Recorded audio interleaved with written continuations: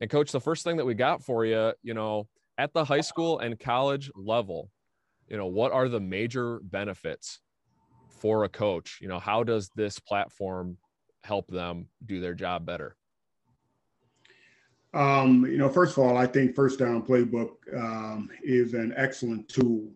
Um, high school coaches, um, college coaches, um, simply because of one word, that's time.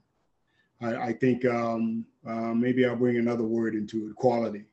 Uh, I, I, just think that uh, time is so important to a high school coach um, and a college coach. Uh, when you think about high school football uh, um, in particular, it is you're always doing something else. You know, nine times out of ten, you're teaching a class.